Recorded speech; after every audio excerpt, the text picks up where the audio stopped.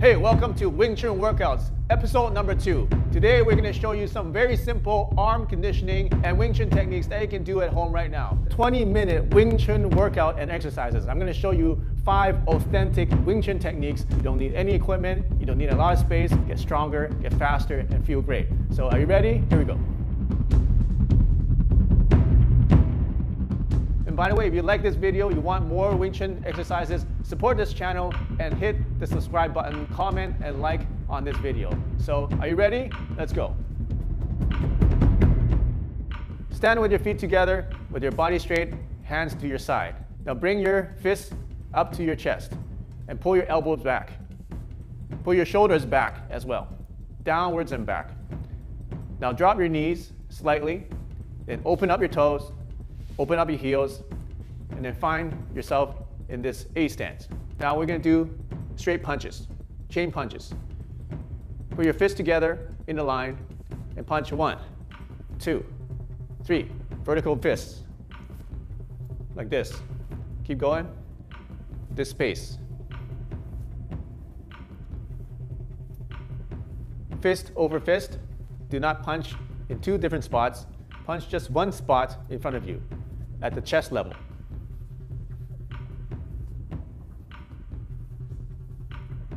Like this. One, two, at this speed. Don't rotate your body, keep your shoulders square. Keep your hands relaxed. Keep your fists half closed at this point. Keep your shoulders relaxed. And when you pull back the fist, pull back the fist under the hand that goes out. Your fist should go back to about two inches from your chest. And when you punch out, punch out to about 95% extension. Do not extend your arms completely and do not lock out your elbows. Okay, now I want you to do double time. One, two, three, four, five, six, seven, eight, nine, ten. Count as you go. Count them to 10. Every 10, I want you to count. 1, 2, 3, 4, 5, 6, 7, 8, 9, 10. Keep your arms loose. Keep your knees bent. Now, I want you to punch higher. Imagine a person is six feet tall, and you want to punch his head, punch the chin, use the same technique, and punch upwards. Keep going. One, two, three, four, five, six, seven, eight, nine, ten. Keep counting. Now want you punch low. Imagine you're punching someone that is shorter in the stomach.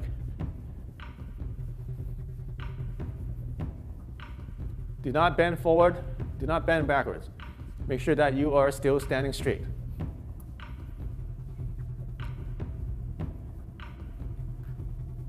Now punch forward again. I want you to speed up even more. One, two, three, four, five, six, seven, eight, nine, ten. Faster. Triple speed. Make sure you're breathing. Breathe in and out. One, two, breathe out. breathe in. One. Breathe in every four hits. Breathe out every four hits. Or six hits, whatever you feel comfortable with. Okay, keep going. I want you to punch as fast as you can for 10 seconds. 10, 9, 8, 7, 6, 5, 4, 3, 2, 1. Okay, good. Take a break. Shake your arms, relax. Shake your feet. Flex your wrists. Shake it off. Exercise number two. Get into the same stance. Now we're gonna do palms. So one, palm over palm, two, three, four, five, six, seven, eight, nine, ten. Keep your shoulders down. Do not raise your shoulders when you palm. Make sure your shoulders are nice and low as you do the palm. One, two, three, four. This is the same technique, same technique and exercise as a straight punch. Instead, now you are using your palm instead of using your fists. four, five, six. Make sure that you bring in your palms straight in front of your chest. Now I want you to do it double time again. One, two, three, four, five, six, seven, eight, nine, ten. Keep your knees bent. Check your stance. Make sure your knees are bent. Your feet are slightly wider than shoulder width. And your feet are pointing inwards and not pointing outwards. So the same way, now I want a palm high. Imagine a person is six feet tall or even taller and palm higher. One, two, three, four, five, six, seven, eight, nine, ten. That speed. Okay, the arm is getting tired, keep going. Now palm lower. Imagine the person is ducking and you're palming downwards. Make sure you're breathing. Now go back to center and triple speed. One, two, three, four, five, six, seven, eight, nine, ten. Like that. Keep your elbows nice and low. Make sure you do not flare your elbows elbows are low, pointing downwards. Make sure you're palming hand over hand. And you notice that my hands are going in a circular motion and extending out to the target. Now I want you to palm as fast as you can for 10 seconds. One, nine, eight, seven, six, five, four, three, two, one. Good job. Are you ready for exercise number three?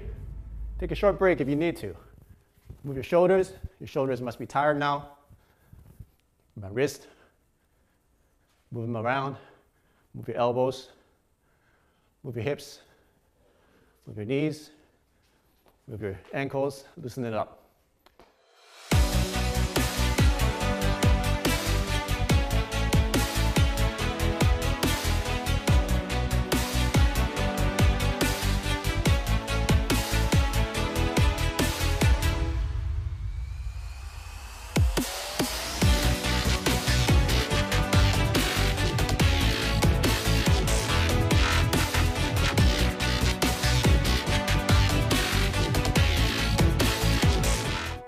Now, for the third exercise, get into the same position.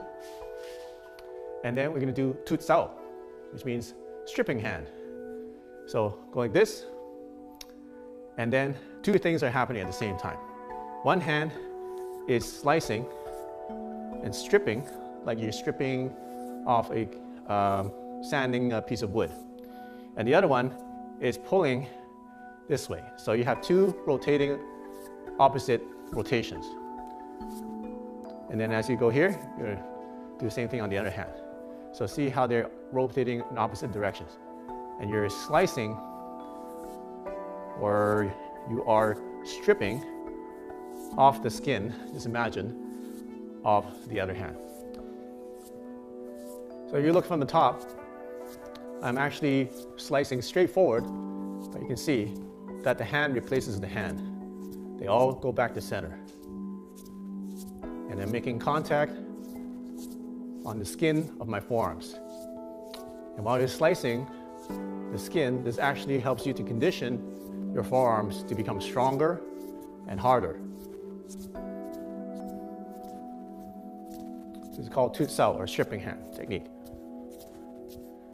All right, so continue at this pace. One, two, three, four, five, six, seven, eight, nine, ten. Now I want you to go up. Imagine you are chopping somebody's neck that's taller than you. the same technique.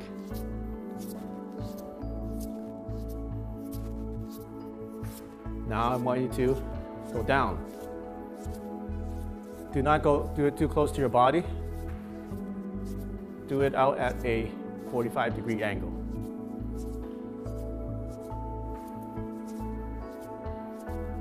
Great. Now I want you to do double time, going straight. One, two, three, four, five, six.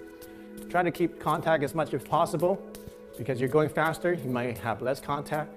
But just make sure your arms are relaxed and you're doing this in a smooth way. Keep going. Now I want you to do as fast as you can for 10 seconds. One, two, seven, six, five, four, three, two, one. Good job. Here we go. The fourth exercise is Fak Sao, which means whisking hand. Get in your position again. And then get into your ready position. Now, what I want you to do is to chop your hand sideways towards the eye level. And then as you bring this in back into a Wu Sao, which is protecting hand, whisk the other one up. Don't look that way, just whisk without looking and keep looking straight. So if we put it together, it's going to be look like this.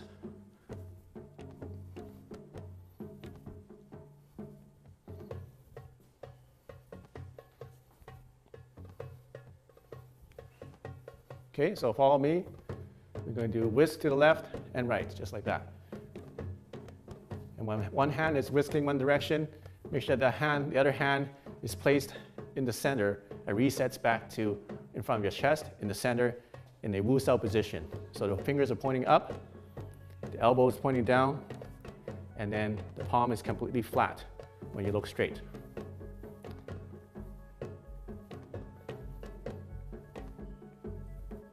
Don't stiffen your hand too much. And when you make a spade with your hand, your thumbs need to be tucked in slightly. Don't let them come out like this.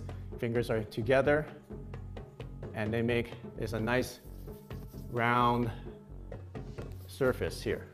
Don't extend your hands out too much. If you see, it's cupped slightly, but don't cup this much, just like a very slight curved straight line, a curved straight line. Right, so keep going.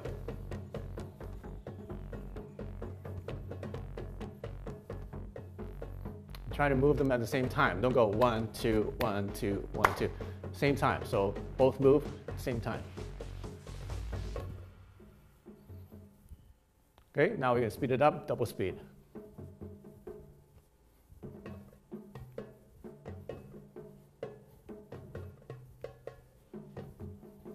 Once again, don't extend your elbows completely, otherwise you lock out your elbow and may injure your elbow. So only stand it up to 95% of the way. Right, now I want you to do a double whisking hand, like this. But now, when you come back, make sure that your hands are together like a rectangle and your knuckles are touching your elbow or at the same line as your elbow. And so when you come back, you go from left to right, right over left, left over right, right over left. So this is a variation of the technique. Whisking in both directions at the same time and then coming back to a double lan sao.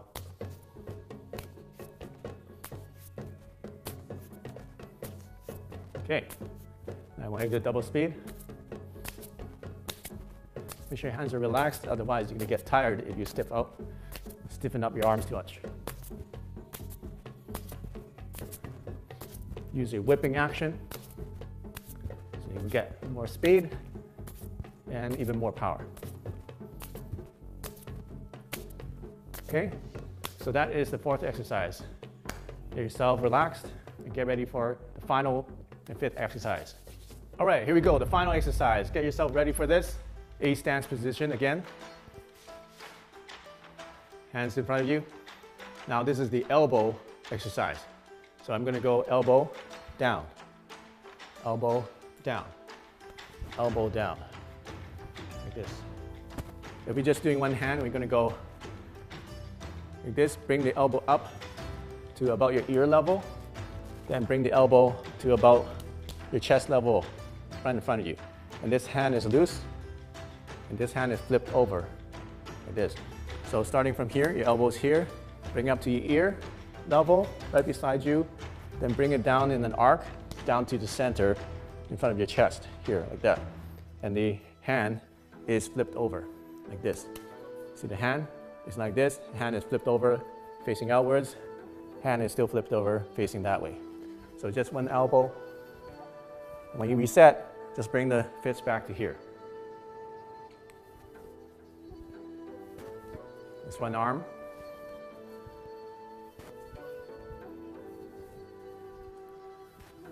So you see the elbow, the actual elbow is making a big circle, making a big circle. Watch the elbow. And do not rotate your body. Just keep straight, just keep square in front of you. Now do the same thing with the other hand. Like this. And when you pull back, pull back like this. Bring your elbow up to the ear, down to the chest level in front of you. And bring it back. Bring it back.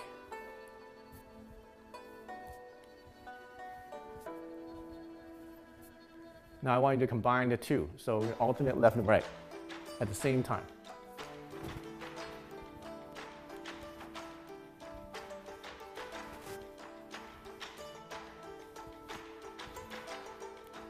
Okay, go at this speed.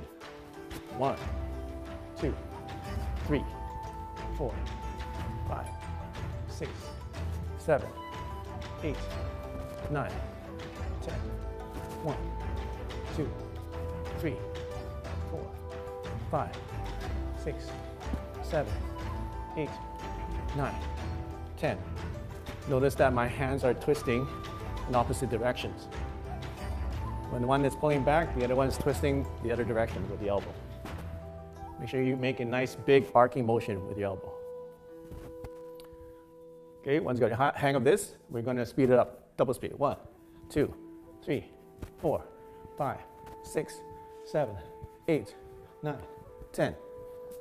Two, three, four, five, six, seven, eight, nine, ten. One, two, three, four, five, six, seven, eight, nine, ten. Now I want you to do as fast as you can while keeping the technique. Don't go so fast that you lose the technique. Go as fast as you can, relax while keeping the technique, keeping your structure, keeping your stance. Keep going. 10 seconds. One, nine, eight, seven, six, five, four, three, two, one. All right, good job. You completed the Wing Chun workout, episode number two. And also, what you can do as a progression of this exercise and this workout is to add stepping with it.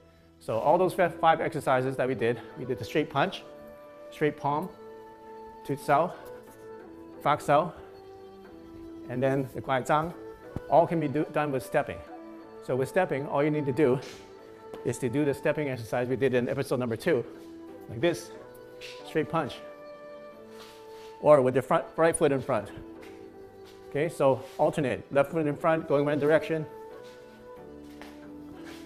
And when you turn this way, right foot becomes the one in front. Same thing to do with your palms. Okay, same thing.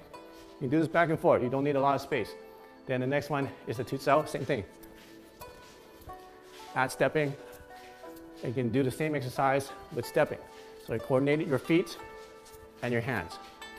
And then the other one. Fak sao with stepping is like, uh, like this. It's kind of like the, it's kind of like the uh, tu sao, except one hand goes back to your center. And the other one, Wai Zhang, same thing.